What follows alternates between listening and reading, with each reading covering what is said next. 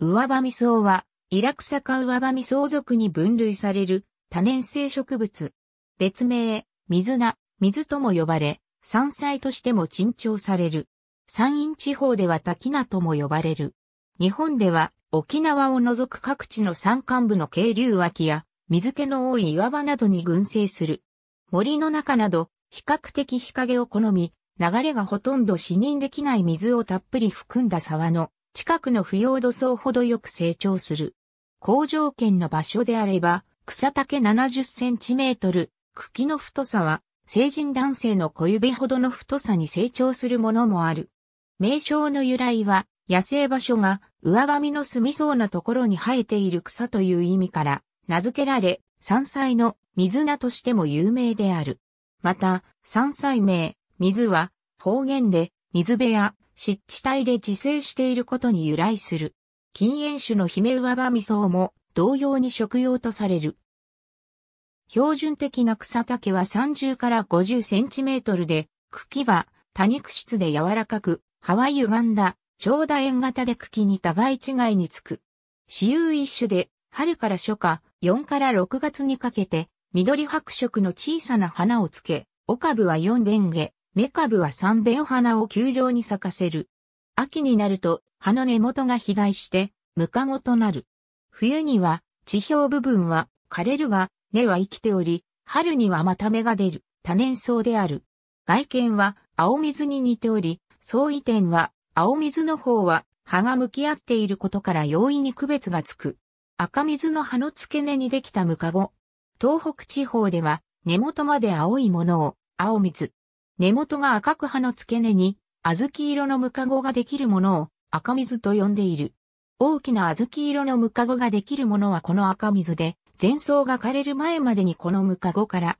芽が出る。見た目は小さいが、姿は親同様。草丈10センチメートル以上に伸びるものもあり、枯れて地面に倒れる前から根を伸ばし始める。雪が降るまでには、ムカゴから出た地上部は枯れる。上場味噌は地下茎とこのムカゴによって群生を作りやすい。特別な紅葉を持った成分はないが、斜めに伸びた赤紫色を帯びる茎と、短く紅色を帯びた根茎は、潰すと粘液質を含む。この粘液が皮膚面を保護する作用があり、皮膚の外傷回復を早める働きがある。虫刺されや小さな切り傷、すり傷に生の茎や根をすりつぶした粘液を幹部につけると、早期治癒に役立つとされている。4から5月頃の単緑色の若葉は、癖がなくて、味が良い山菜として食べられている。茎は柔らかくて、根元付近は粘り気があり、アクや癖が少ない。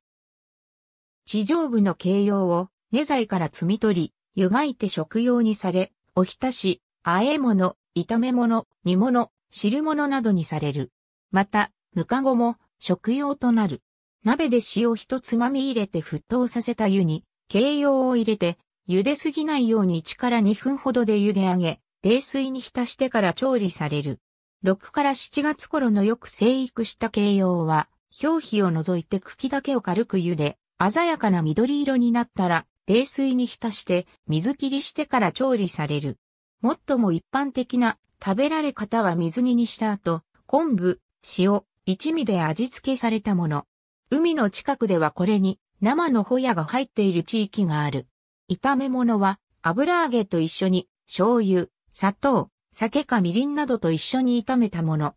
上場味噌がよく取れる地域では家庭料理のほか小料理屋でもお通しなどで出されることもある。また、根や根元の赤い茎は粘りが強いことからよく土や絡んだ腐葉土を取り除いた後に皮を剥き、生のまま味噌と一緒に叩きにする調理方法もある。すりこぎなどで叩き、さらに包丁で細かく刻み、